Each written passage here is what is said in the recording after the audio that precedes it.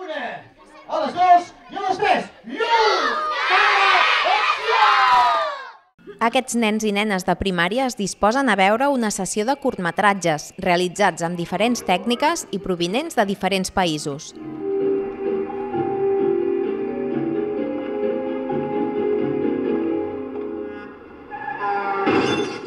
Un cop vistes les pel·lícules, toca votar.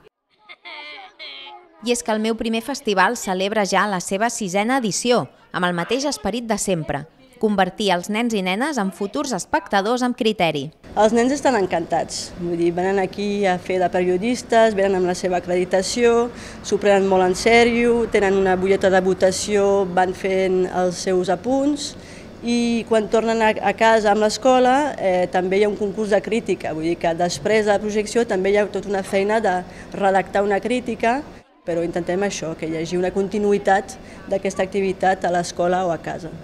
I per tal que els petits puguin votar amb fonament, les projeccions es complementen amb explicacions d'experts en cinema, que els descobreixen els secrets de la producció audiovisual des de com transmetre sentiments a través dels colors fins a com es fa la tècnica de l'stop motion. Doncs que feien les fotografies i després les anaven ajuntant com totes seguides i feia tota una pel·lícula. Les pel·lícules que veiem avui ara pues, són més llargues i t'expliquen més coses, però aquestes t'expliquen una cosa que et pot servir per molt. I bueno, jo ho trobo bastant bé perquè podem votar.